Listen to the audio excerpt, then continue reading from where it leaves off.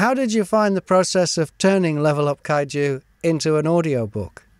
Oh, very good. Yeah, it's, it's you're always always good, Graham. always brilliant. You've got captured monsters, Eric said, walking up to the glass and placing his hands upon it. He couldn't help but stare at the kaiju. This close up, they were almost majestic, despite their deadly power.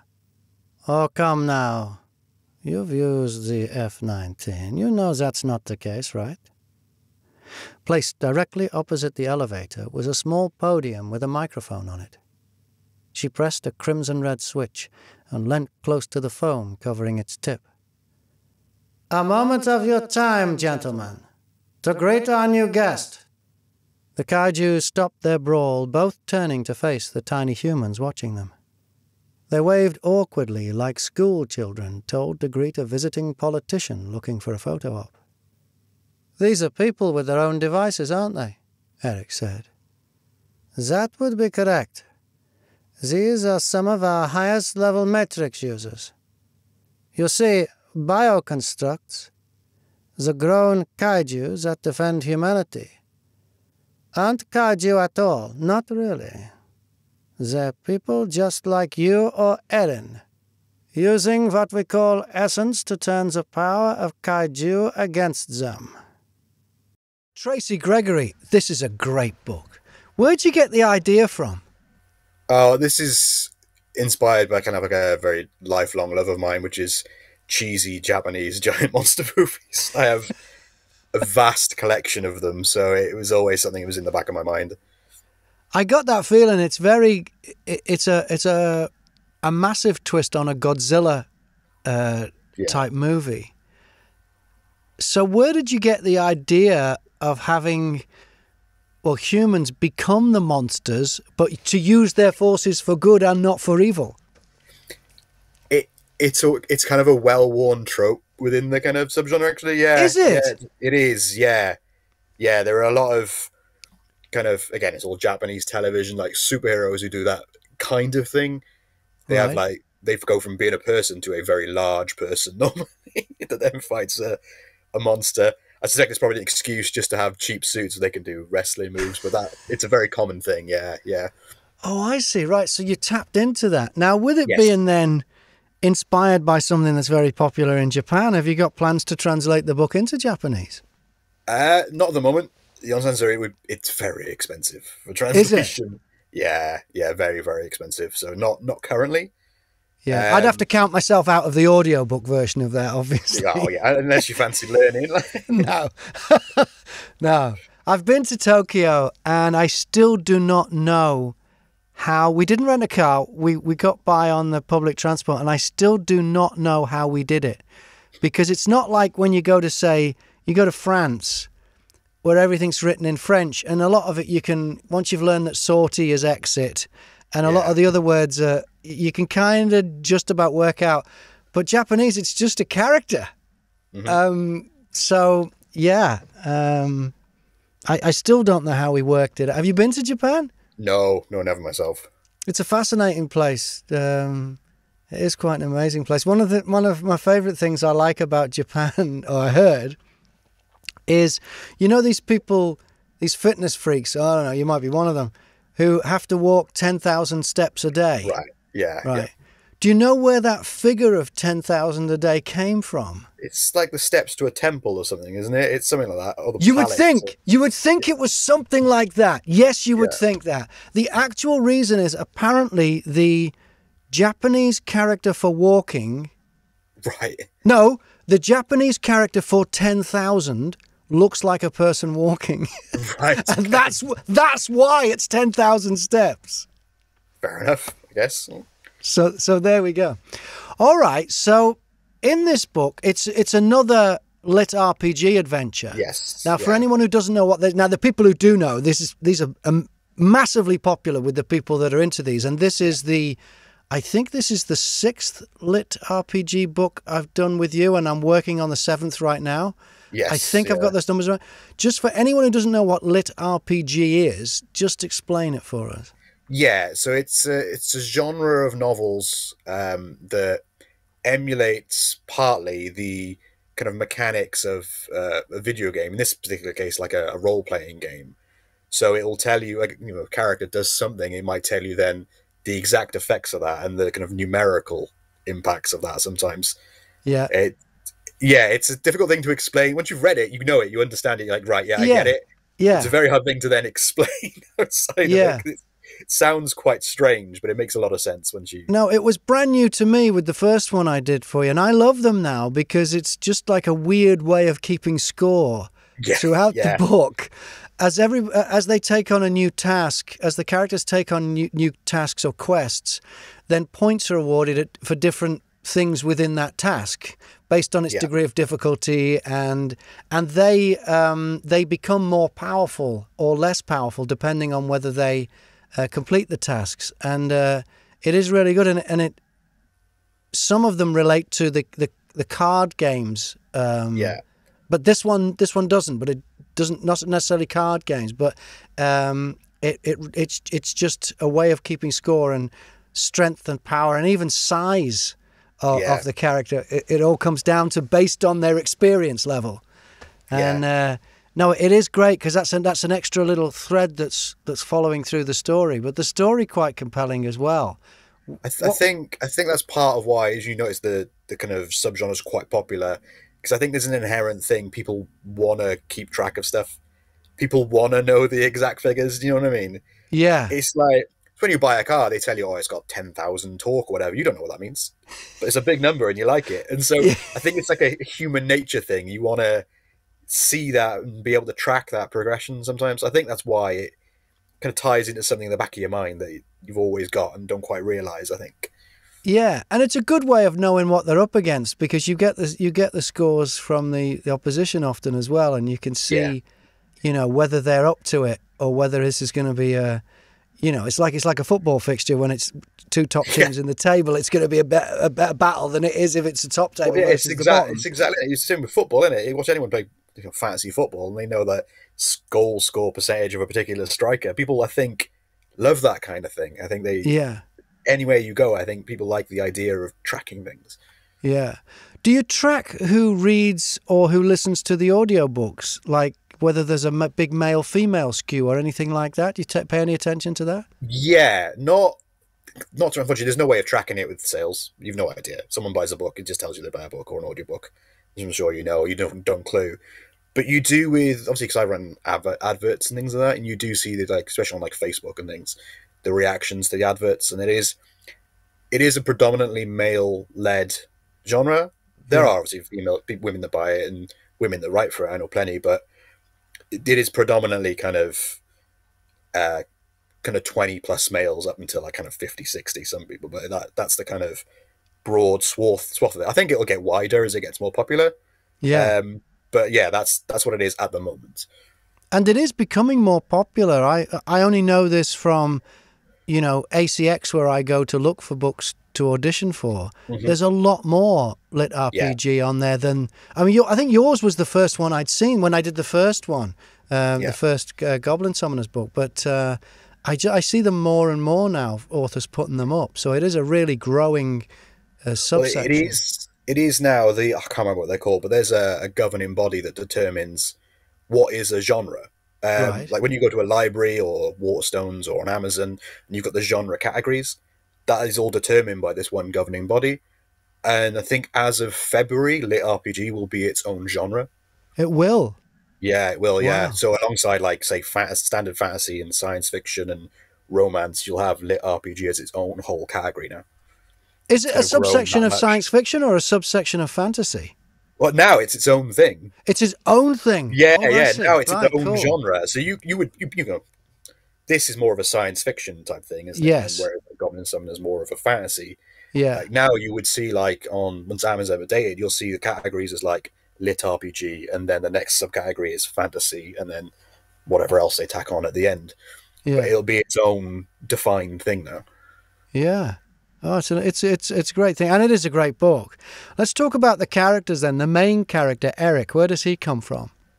Um, I just always like the idea of someone who was.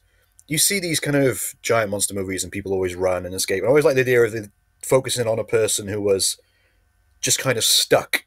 You know, he doesn't get on the the, the escape bus and get away.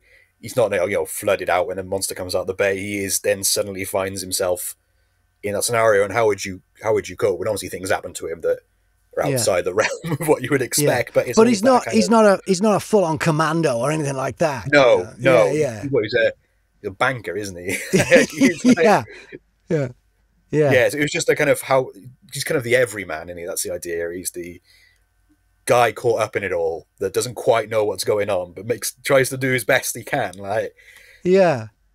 Usually, usually with your books, I have a favorite character, and in the Goblin Summoners, uh, I like Sarkhan because he's just so full of himself and he's just a little delusional.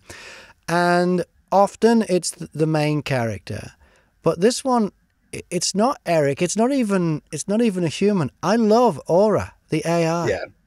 That that and if someone was tell, would tell me that you're going to do a book with lots of these characters and you know some of them larger than life and some of them you know uh, um, the um, Erin the Texan, who is, you know, proper full on military yeah. and stuff, and then Annalisa, who's a, the, a, German and stuff. If someone says to me, "No, no, you're gonna you're, you're gonna really like the AI, who isn't really even a person; it's just a, a device on Eric's yeah. arm." But that I thought that was very clever, the way you'd written that with a personality, because it would be tempting to write an AI as pretty cold. Yeah. Yeah, deliberate. Well, it, that was deliberate, right? It is because it's it's kind of one of the threads of the plot, isn't it? That having a personality is a thing they develop over time, but they're not quite supposed to. Yes. Yeah. Yes. So it, it, because it, they're interacting with humans all the time. Yes. yes and they're yeah. and they're a learning device, so they're going to learn from the people they're communicating with constantly. Yeah. Exactly. Yes. Yeah. So it's an, it's an intentional thing. Yeah. Plus, it gets more fun, you know. it does. I mean, I don't want to give anything away, no spoilers, and I'm not going to spoil anything here. But I'll just say that the Aura finds out something about himself and his origin about halfway through the book, and it gets really interesting because he has a hard time dealing with it. Yeah. And then he accepts it, and then he comes out the other side, and he's just a bit more he's even he's even more um, has even more of a personality. He's even more real on the other side of it when he's come to terms with with what's happened. And I loved that about his character because I didn't see that coming. I thought, okay, we've got an AI here, and, and often that kind of character I found is written into a story as more of a, a device to yeah. move the story along or to fill in any background. But no, he is a proper, fully formed character who goes through his own crisis and deals with it. It was just, it's just great. Did, had you seen that somewhere before, or or is that totally original? No, well, I, there, there obviously you get AI characters and things in different stories, and they do sometimes have character arcs. But I wanted because the book is about kind of the progression of Eric as he goes from you know very small monster to very large monster, very large monster. And I wanted, yeah. I wanted kind of Aura's arc to kind of mirror that in a way you know, he starts as he starts, you know, a simple AI, and as they they kind of go through the same things together as a, partnership, really, aren't they? Yeah. And then they kind of both grow and come out of it as, as slightly different people from when they started, or as a person where they didn't yes. start. As, you know, that was kind yeah. of yeah. I never, I, I never made that that connection, the parallel that they're both they're both becoming more rounded people based on their experience. Yes, and what they find out about what's really going on. And yeah. that's another. I mean, it would have been it would have been a great book anyway if if Eric was just used to fight monsters and stuff. But there's another subplot there going on, which makes it even. It, it works on another level as well because you think, oh, and it speaks to. Like I say, I don't want to say too much, but it speaks to corruption and the way that people would rather have the beautiful lie than the ugly truth and mm-hmm. it, it's it's it, there's something very real about that i think especially in today's day and age um, is the book set in the, slightly into the future or is it is it in now yeah it doesn't really so matter the, so there's a again in japanese monster movies there's a trope where if you you watch the films they always give a date but they'll give the date as like 1990x they'll never give the exact year, just just vaguely kind of where it is. So it's vaguely kind of maybe like a year or two into the future, maybe a little bit further. It's not it's not exactly hundred percent clear. Right. Um, I mean, it is definitely in our future. They do mention you know events that have happened. Yes, but you could yeah. easily also say, well, maybe they happened in the eighties, and this is now. It's always meant to be kind of slightly fuzzy when it is, because again, that's a it's a very common thing in the kind of giant monster genre. They're always a bit edgy about where it is and isn't set. Yeah, yeah. Well, well, like I say, this is this this is the sixth book we've done together. We're working on a seventh now. Okay. How many books do you work on at a time? Because you, that's an incredible output. Because I, I think we've only been working together for about a year. It's a yeah. lot of books. So, how many do you work on at once? Just one. Just one at a time. Just one at a time. Yeah, I couldn't do multiple books. It would fry my brain. I think I like to focus on one book and finish it yeah. And then do another book straight afterwards. I don't really give a break between them. I finish one and then maybe a couple of days later, once it's been published, I've already started the next book. And I see. Yeah. Away with that. It's always just a, a momentum is the key to it. Always just constantly doing it as often as you can. Yeah. Yeah, and he's still working full time. Not not anymore. No. Oh, you've done. Work, you've gone. You've gone. You're pro writing. oh, I see. Now. I see. Part time. Yeah, because I just could not understand how you could do that. How you could get your head around um, working in an office in Cardiff, and then and, and then writing books. You, you, you be all you ever did every waking yeah, second. Yeah, it was. Yeah, it was. yeah. yeah. So so take me through the process then. When you you you, you come to start a book like Level Up Kaiju, you, you you come to start the book. Do you do you map it all out, or do you just sit down and do it? Do you do you dictate it? You, what's no, the process? No, so I so I type everything. Everything's typed. Um, you'll generally find if you speak to a lot of authors, there are there are kind of two camps when it comes to writing a book. You've got plotters who plot everything out. You know, they've got vast backstories and everything written in advance and big binders full of all the history. And then they've got what they call pantsers, as in by the seat of your pants, where you just sit down and you just write the book, right. and then that's it. And yeah. I'm very much the second category. I sit down. I've got a vague idea of like, well, I want it to be about X or Y, and you know if it's a sequel like i know this happened in the last book yeah and then i just go from there and just write it as it comes and see what see what happens and you've got the characters down though you're not bringing in new characters along the way you've got them down uh, i mean they're always kind of in my head i always think right okay i need a character here but i want him to be interesting and i want him to link into this plot in some way and yeah. be you know thematically relevant but kind of i never have like they don't have a name until they start speaking. no, they don't. Um, so I just start, I just kind of do it as it comes.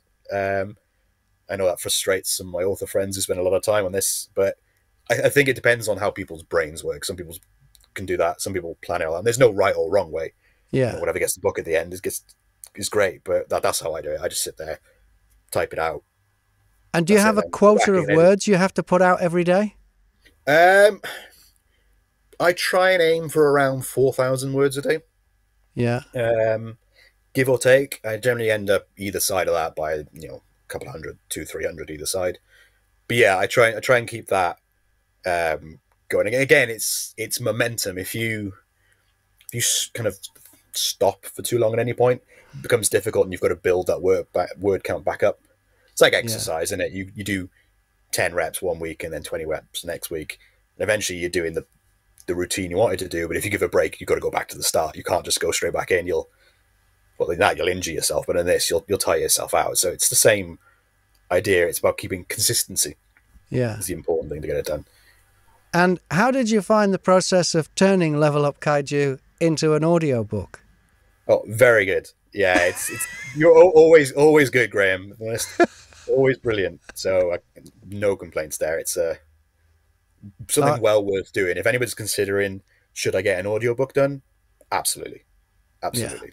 Yeah, yeah, yeah. It's so much fun, and it just um, and it's uh, you know, to be um, to, to cut to the chase about the money, it's another income stream. It's another way yeah, to sell a book. Yeah, it is. It's, from a from business perspective, it would be leaving money on the table. So yeah, you know, you do it because well, you need to eat. You know? you, you yeah. do, and there are a lot of people now who are only audio. They only listen they only, to audiobooks. They don't read. Yeah, they don't. They don't read normal books. They only listen to audiobooks. There's a lot of people who prefer them, and that's absolutely fine. you know, yeah. it's servicing those people who want it. Yeah, yeah, yeah. Well, they're so much fun to do. And if you would like a free copy, if you're watching this now and you've got this far in and you would like a free copy, with like there's no strings on this. This is a free copy of Level Up Kaiju by Tracy Gregory. If you email me, and my email address is in the thing below, I'll just put the email address in there. If you email me, the first 10 people to email me who've watched this far of this, I'll send you a code and you can download it from Audible for free.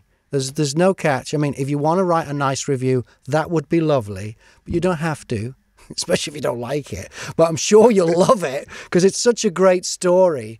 It's uh, it's like a it's a bit like a Godzilla movie kind of thing.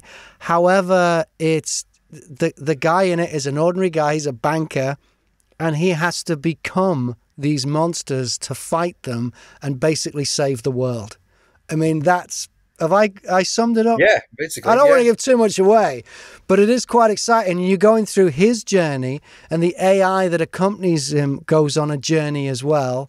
And you also there's there's some shall we say corporate skullduggery along the way that also is is a subplot. So it's a terrific read because I read it, but it's I'm sure it's a terrific listen when you listen to me reading it. So uh, if you'd like a free copy, just email me down there and just say, hey, can I have a free copy, please? First 10 people to do that, I'll send you a code and you'll be all set. And it would be nice if you leave a review. You don't have to. Tracy Gregory, it's always good to talk to you. And uh, thank you so much for choosing me to do this one because I really did enjoy it. Uh, it's, it's well, I'm glad. I'm glad. Just a great story. And and one of the other great things about your books is there aren't too many characters. I think I don't know if it's a mistake, but your book, I look at hours. I don't know how long it is, but your book's about 12, 13 hours long, which yeah. is on the long side for an audio book. And often books that long, I've done them where they've got over 100 characters. And I think the listener will start losing track of who's who. But yours, you have your core characters, you have the characters around them, like people, for instance, in the control room. There's quite a lot of people there when that's going on. But you've got your main characters and you're focusing on them, and it's all very, very efficient. You can just get on with the story and the adventure that's going on. So I, th- I think you do really well doing it that way. I don't know whether that's right or wrong. There might be a reason why these people have over 100 characters. I don't know, but and it's no big deal. It's, it's more of a challenge to read when I have to come up with 100 different voices. But uh, I like the way that yours, they just, and also with yours, and this is no, they hit the ground running. On yeah. in that first chapter, you're like, whoa, now we've got a story. They don't take three or four chapters to get going. You're no, I've like, he's, he's right in the action from the very beginning.